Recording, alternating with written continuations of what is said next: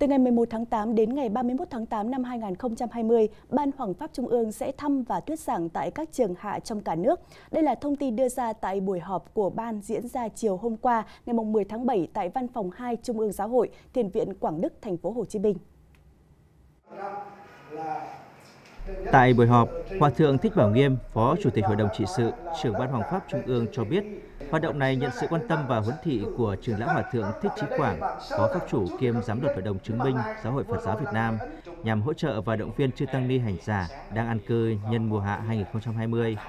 Theo đó, Ban Hoàng pháp Trung ương và Ban Kiểm tra Tài chính Trung ương phối hợp thực hiện và dự kiến sẽ có 5 đoàn thăm và thuyết giảng tại tất cả các trường hạ chia làm 5 khu vực: miền Bắc, miền Trung, Tây Nguyên, miền Đông và miền Tây.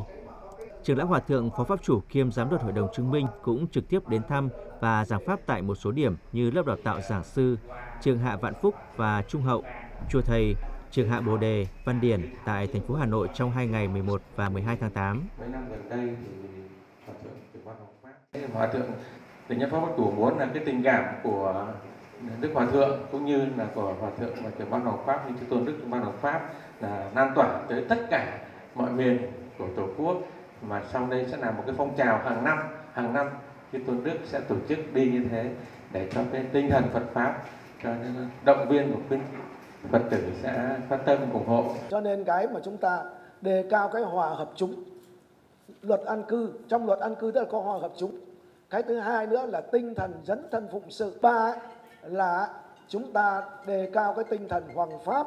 của người hoàng pháp của chúng ta. Ba cái đó kết hợp thành một cái chủ đề để mà giảng. Thì ờ, các thượng tọa trong ban giảng sư ờ, trong ờ, trong ban giảng sư sẽ sẽ, sẽ cùng bàn lại. Những vị nào mà cùng được lên cái danh sách mà đi giảng các trường hạ thì sẽ nhóm họp riêng một cái sẽ cử ra một nhóm trưởng